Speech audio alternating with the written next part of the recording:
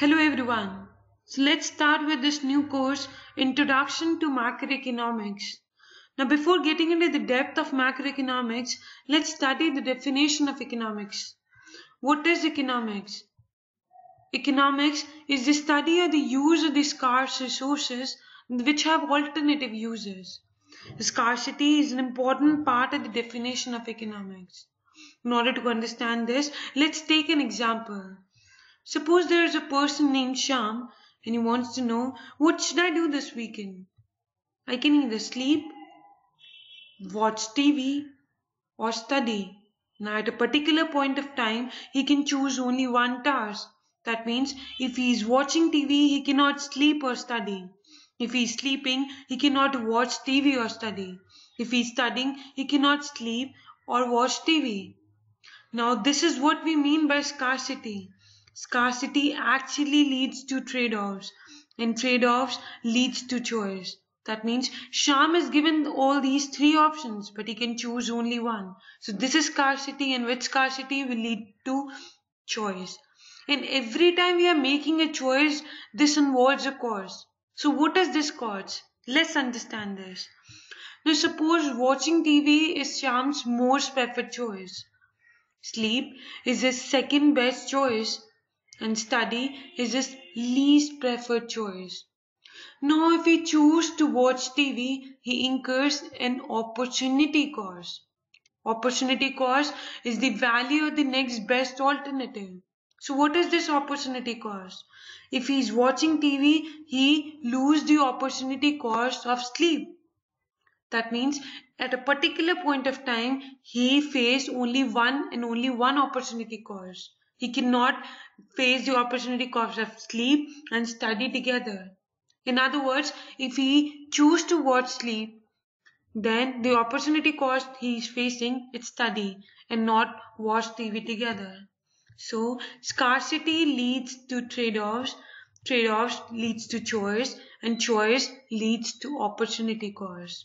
So the role of economics is to make choices given these scarce resources. So economics revolves around all these concepts. Now let's move further and study the two branches of economics. What are the two branches? The first one is microeconomics and the second one is macroeconomics. Now what is microeconomics?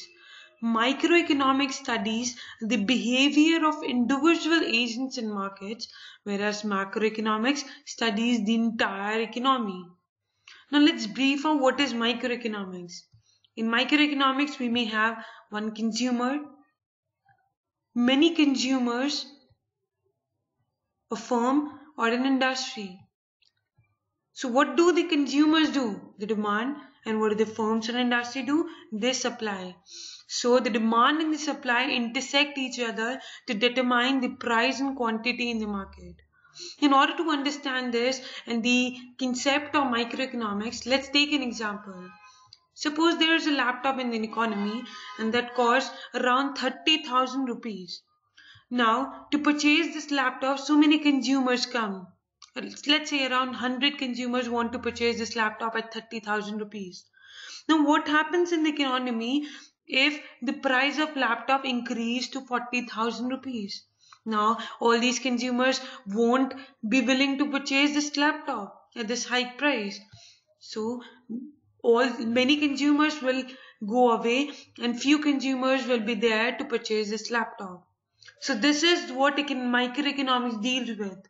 Now let's come up to macroeconomics, where microeconomics deals with the behavior of the individual parts of the economy. Macroeconomy deals with the whole economy. That is, we are interested in economy as a whole. As we had uh, demand and supply intersecting each other in microeconomics, we have the aggregate demand and supply intersecting each other to determine the price and quantity in the entire economy.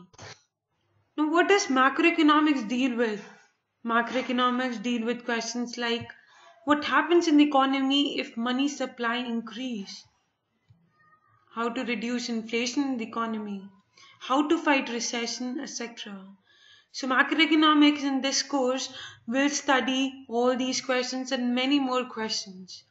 So in the next video, we'll start off with the emergence of macroeconomics. Thank you.